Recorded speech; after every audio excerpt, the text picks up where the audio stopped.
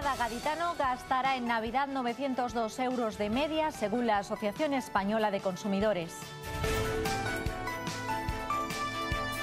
Porque resulta un poco eh, extraño que siendo este suelo propiedad del Estado a través de la zona franca a través de la empresa del SEPI, pues eh, no, no, se contemple lo que ha prometido la ministra de Vivienda, que es una prioridad para la vivienda de las personas jóvenes, de las personas más desfavorecidas.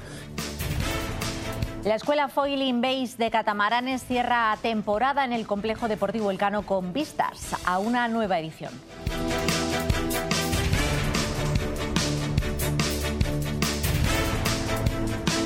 ¿Qué tal? ¿Cómo están? Les damos eh, la bienvenida a la primera edición de nuestros servicios informativos. Eh, lo han visto en el arranque, cada gaditano gastará en Navidad 902 euros. Se trata de un análisis de la intención de gasto realizado por la Asociación Española de Consumidores. ASESCON, la Asociación Española de Consumidores, ha realizado un total de 5.000 encuestas, sondeos dirigidas a los consumidores para conocer la intención de gasto en el periodo navideño en lotería, alimentación para el hogar, regalos, juguetes, ocio y otros gastos vinculados tradicionalmente a estas fiestas. Los resultados de las encuestas reflejan que el gasto de cada consumidor se sitúa en 902 euros, 67 euros menos que la media nacional. Según un estudio de la Asociación Española de Consumidores, estaríamos hablando de una media de gasto por consumidor en las Navidades en la provincia de Cádiz de 902 euros, una cifra 67 euros inferior a la media nacional, que se sitúa en 969, pero más o menos en la misma onda de gastos, en la misma línea de gastos que van a tener los consumidores a nivel nacional. El gasto previsto para este año en alimentación es de 245 euros por cada consumidor. En este sentido, se constituye como la mayor partida de gastos para los ciudadanos, dejándose notar en este dato el incremento de los precios de los productos de alimentación en los lineales de venta. Esto hará que muchos consumidores cambien sus hábitos de consumo o que tengan que buscar las ofertas comparando distintos establecimientos. Los gastos más importantes estamos hablando de la alimentación, que se va a llevar unos 245 euros por consumidor eh, en estas navidades. Ahí, como podemos ver y como nos han señalado los consumidores en eh, la encuesta, estamos hablando de una previsión de gastos eh, que se deja notar por la subida de precios, por el IPC, sobre todo en la alimentación, y por tanto una cifra sensiblemente superior a la de años anteriores. Por otra parte, los regalos, incluyendo los juguetes, ocupan el otro gran apartado de este estudio de los desembolsos a realizar en Navidad, un gasto que asciende a 358 euros si sumamos ambas partidas. Con relación a los gastos vinculados al ocio, los consumidores tienen previsto gastar 159 euros por persona. Otra de las partidas significativas va destinada a las tradicionales compras de décimos o participaciones de los sorteos de Navidad o el Niño. La predisposición de los consumidores este año es de tener un gasto aproximado a los 60 euros. Y la tercera edición de la campaña Cádiz Vale Más ha llegado a su fin con éxito absoluto tras agotarse todos los bonos disponibles y con un volumen de ventas estimulado por los 260.000 vales emitidos que se ha cifrado en más de 6 millones de euros. Cada vale ha generado un consumo de 23 euros con 12 céntimos de media deparando ingresos a los 1.630 establecimientos de 412 municipios de la provincia, de 42 municipios de la provincia gaditana. La Diputación ha liderado esta iniciativa en coordinación con las cámaras de comercio de la provincia y con la colaboración de Oreca y Fedeco.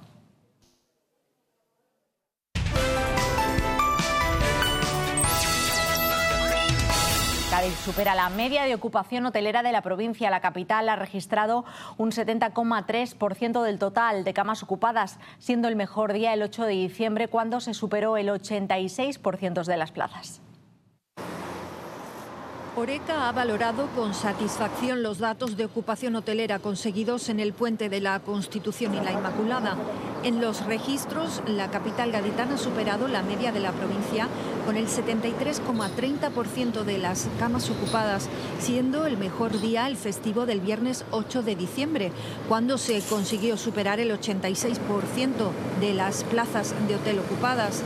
Los datos provinciales son destacables según la patronal de los hoteles y establecimientos de hostelería, que ha confirmado una media del 72,45%, 16 puntos porcentuales más que en el mismo periodo de 2022. El presidente de Oreca ha celebrado el balance que se ha saldado en los hoteles gaditanos a pesar de las lluvias de los primeros días. Porque además daba lluvia los tres primeros días llovió, pero luego los tres siguientes pues, han sido espléndidos y por lo tanto yo creo que bueno que se ha hecho un buen puente en tanto y en cuanto no, no se ha fastidiado todos los todos los, los seis días, ¿no? La media de ocupación en la capital gaditana se traduce en que se han ocupado tres de cada cuatro camas de hotel disponibles.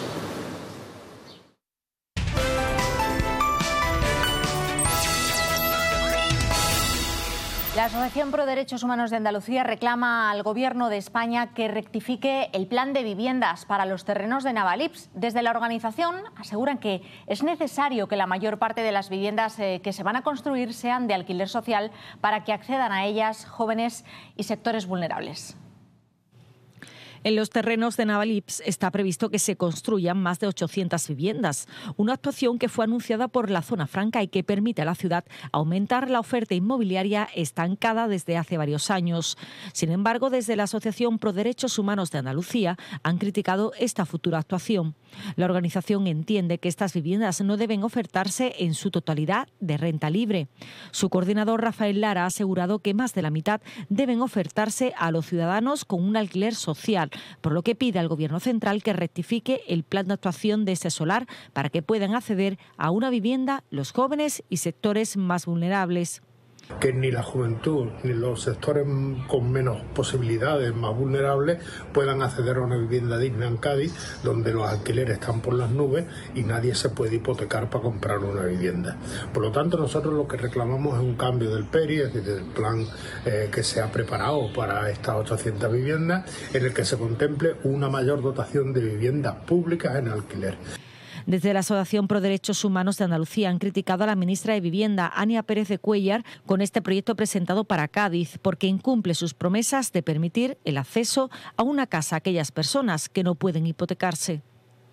Y Cardin y Tierra de Todos promueven la interculturalidad como base de una sociedad inclusiva. Las primeras jornadas de buenas prácticas puestas en marcha en colaboración con Save the Children se celebran con el objetivo de acompañar a docentes y profesionales que trabajan con menores migrantes en la provincia. En una provincia como la de Cádiz, la multiculturalidad es una realidad y en el área de la educación debe ser una prioridad. Es por ello que desde la Asociación Carding, junto a la Fundación Tierra de Todos y financiado por Save the Children, se ha puesto en marcha las primeras jornadas de buenas prácticas construyendo para la inclusión, con el objetivo de trabajar desde la comunidad educativa la sensibilización sobre la situación migratoria en centros educativos de la provincia. Lo más importante es que toda esta, esta realidad se viva de una forma más natural, más, más normalizada y sobre todo que mm, descubramos esa parte más humana de la realidad migratoria. En este camino, las jornadas han inaugurado por parte del defensor del pueblo andaluz, Jesús Maezú, recordando que en cuanto a los menores siempre debe primar el enfoque de la infancia respecto a la condición de migrante. Es decir, tenemos que olvidar ya que es un migrante. ¿Qué decimos? Niño, migrante no acompañado. Es niño, persona, protegido por, la, por el derecho internacional, la Convención del Niño y por las normas del país donde vive. Esto es una aldea, estamos todos. Yo creo que Cádiz tiene una, una buena tradición de acogida. El obispo de la diócesis de Cádiz y Ceuta ha destacado la labor de estas organizaciones en este proyecto y su acercamiento a los más jóvenes a través de los centros y sus campañas de sensibilización ya en la educación, diríamos, más, más eh, primaria o más infantil, pues tengan una familiaridad con los problemas que tiene hoy la sociedad y con las posibles soluciones y sobre todo con respuestas humanitarias como intentamos dar nosotros. Por su parte, el alcalde de la ciudad, Bruno García, ha reiterado el apoyo del ayuntamiento en estas acciones que potencian el trabajo hacia una sociedad más inclusiva. Pues muy contento de, poder estar en esta jornada sobre un tema que es fundamental, que es la migración, y, nosotros también hoy vamos a aprovechar para em, corroborar nuestro compromiso con, con Carding, con Tierra de Todos, y sobre todo con el trabajo que hacen durante todo el año. En el programa de estas jornadas han incluido testimonios de expertos en derechos humanos, además de testimonios de jóvenes migrantes para hacer más visibles las iniciativas más efectivas en inclusión social. Con este espacio se busca potenciar la interculturalidad como vía hacia una sociedad más respetuosa, aprovechando la educación como herramienta para promover la tolerancia y el entendimiento mutuo.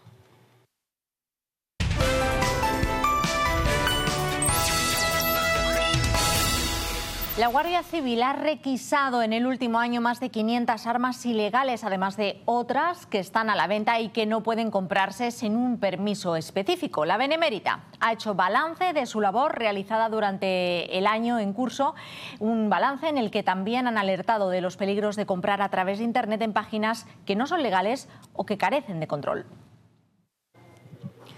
un cañón, pistolas Taser de gran potencia, tarjetas y llaves que se convierten en navajas o un estoque escondido dentro de un bastón.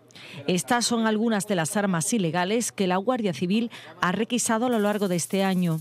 Armas que han sido retiradas durante alguna reyerta o en inspecciones esporádicas por la calle a personas sospechosas. De las armas eh, son cogidas por inspecciones o registros que hacemos en la vía pública a personas sospechosas y otras armas son intervenidas de anuncios en Internet. Eh, por ejemplo, este arma a lo mejor que un rompecabezas, y esto es bastante peligroso en las manos de alguien, pues a lo mejor lo anuncian en una página de Internet y esto es un arma prohibida que no pueden ni vender ni tener. Algunas de estas armas son de creación propia, como los tirachinas, que se hacen a través de la impresión 3D y tienen mayor potencia que los tirachinas legales que se venden en una armería, aunque con previo permiso. También se crean manguales de forma doméstica. Algunos salen a la calle con puños, que son ilegales, y otros construyen ballestas. Durante el año 2023, más de 500 han sido requisadas por la Guardia Civil y que se convertirán pronto en chatarra el destino chatarra. Cuando las armas que son dispuestas a la subdelegación del gobierno se le pide autorización para la destrucción y las armas que están puestas, si en caso de que fueran relacionadas con algún delito, sería solicitada a la autoridad judicial su destrucción y pasan a chatarra que cada cierto tiempo procedemos con todas las armas que tenemos en depósito. Hay otras armas que, aunque son legales, no pueden estar al alcance de cualquiera. Estas también son requisadas por la Guardia Civil. Son peligrosos los sprays de autodefensa, especialmente los comprados por Internet, ya que algunos contienen ingredientes que no son legales y que pueden provocar el efecto contrario, que el acosado o acosada sea denunciado por el agresor. Los sprays de aerosol para defensa personal que su venta eh, no está prohibida, pero tienen que ser en armerías autorizadas y productos que estén homologados. ¿Por qué? Porque si no, este producto, si lo compra en cualquier página de Internet que no sea una página oficial de una armería eh, la sustancia que puede, que puede llevar puede ser nociva o tóxica.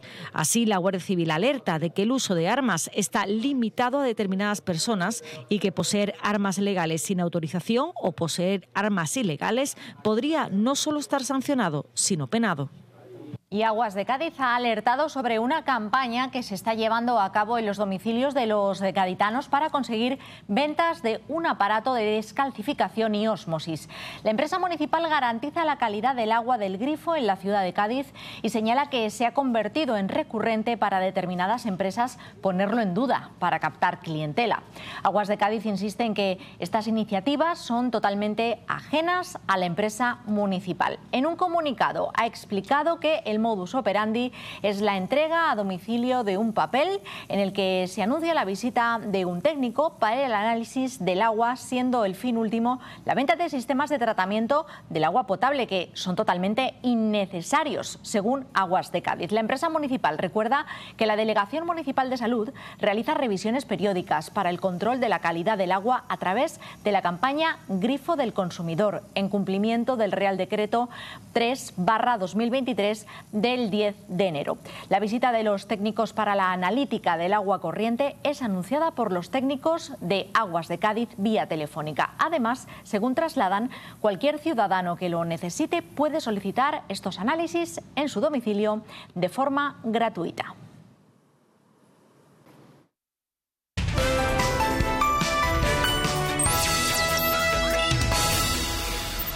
Cádiz Centro Comercial Abierto pondrá en marcha el hilo musical instalado para la Navidad después de realizar algunas modificaciones tras las molestias trasladadas por algunos vecinos por las pruebas realizadas el pasado jueves y la activación el viernes por la mañana. La asociación decidió aplazar su funcionamiento para adaptarlo de forma que no suponga molestias. Este martes con la empresa instaladora han realizado modificaciones de orientación de los altavoces, volumen y horarios para poder activarlo nuevamente con el objetivo de propiciar ambiente de ocio durante las fiestas y en beneficio de todos, según han trasladado los responsables de Cádiz Centro Comercial Abierto.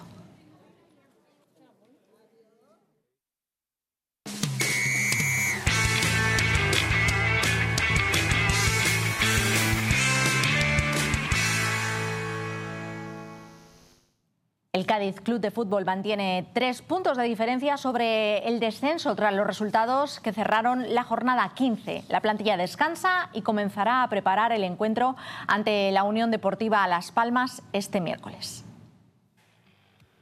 La primera plantilla del conjunto cadista descansa esta jornada. Sergio González sigue esperando por algunos efectivos que ocupan la enfermería. Ya cuenta con Fede San Emeterio disponible que regresaba en el partido de Copa ante la Arandina Club de Fútbol disputando 45 minutos. Para la pasada semana se esperaba la incorporación de Luis Hernández con sus compañeros. El central viene realizando trabajo de campo desde hace unas semanas, pero la sesión de este lunes continuaba al margen. Podría unirse al grupo a lo largo de esta semana.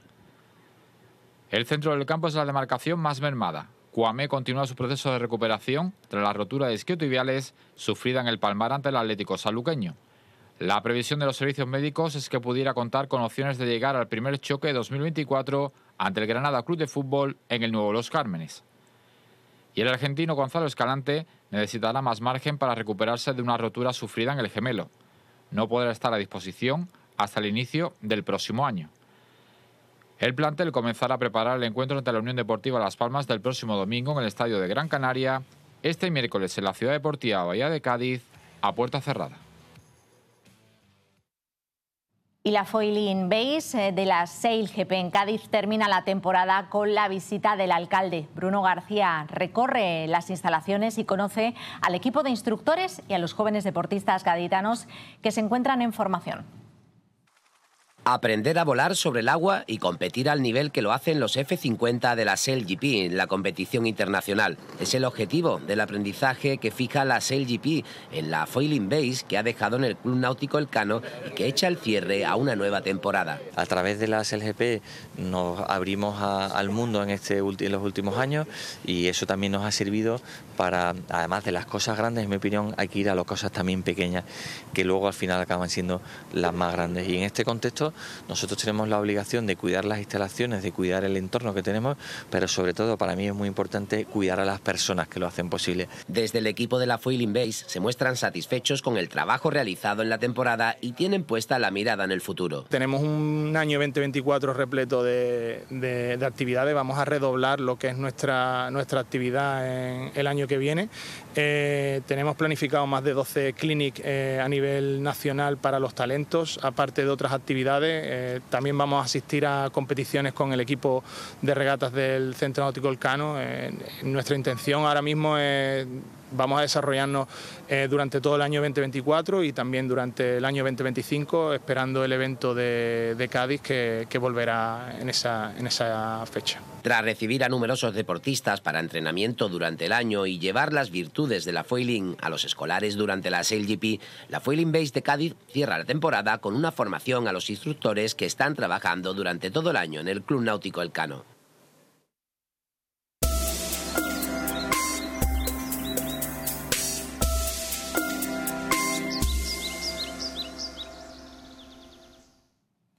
Pues eh, se habrán percatado desde primeras horas de la mañana los bancos de niebla y la humedad han sido los protagonistas de este miércoles. Desde primeras horas nubes muy bajas cubrían buena parte de la bahía de Cádiz, dificultando los trayectos que se han realizado en coche. A esto hay que sumarle una humedad del 90%. Conocemos todos los detalles del tiempo previsto para mañana miércoles a continuación.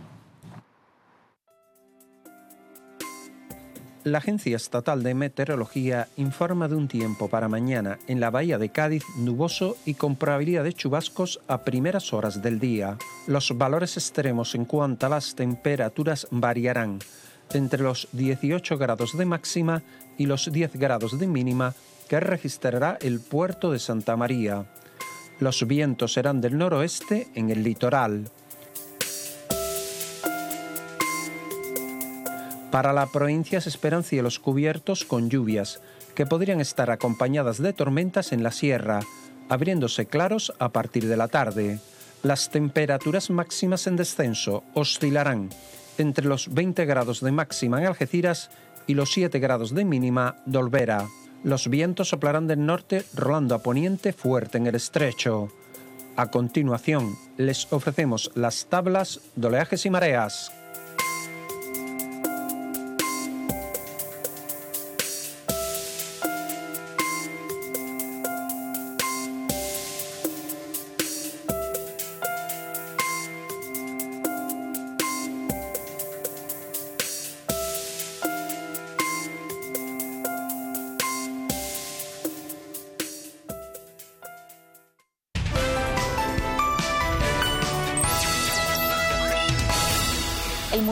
Las Cortes se suma, a la programación se suma a la programación navideña de Cádiz, este espacio emblemático de la ciudad, a una historia, arte, cuentos tradicionales, recitales y autos de Navidad en una oferta especial para todos los públicos. La Navidad también llega al Museo de las Cortes, este espacio cultural que atesora valiosas piezas representativas de la historia de Cádiz, se ha vestido de fiesta y ofrece programación especial para estos días. En la entrada da la bienvenida al visitante un nacimiento de estilo napolitano, obra de Luis González Rey. Nacimiento tradicional cedido por Luis Mota Macías, vestidor de imaginería religiosa. Es una obra del imaginero Luis González Rey, un imaginero de aquí de Cádiz, como todos conocen, y para nosotros es un orgullo y un honor poder tenerlo en nuestros espacios y en este Museo Las Cortes. Después se puede disfrutar de cuentos de Navidad relacionados con los contenidos museísticos, con narraciones de 45 minutos en dos pases diarios hasta el 4 de enero. El 18 de diciembre a las 6 de la tarde el museo acogerá recital de villancicos a cargo del alumnado del Conservatorio de Música Manuel de Falla. Para el 26 de diciembre se ha preparado Auto de Reyes Magos también a las 6 de la tarde. Creemos que es un momento precioso para aprovechar, poder visitar el museo, para poder eh, vivirlo y creemos que también, y ha sido importante, lo que es la mezcla de las distintas ramas y, disciplinas culturales. ¿no? Se puede acceder a esta oferta especial de ocio gratuitamente y hasta completar aforo. Se ha diseñado para todos los públicos y ha sido organizada por la Delegación de Cultura del Ayuntamiento de Cádiz, desde donde se recomienda reservar, si es posible, con antelación, a través del teléfono 956 22 1788. Es todo por el momento. Los servicios informativos de esta casa regresan a las ocho y media de la tarde. Adiós.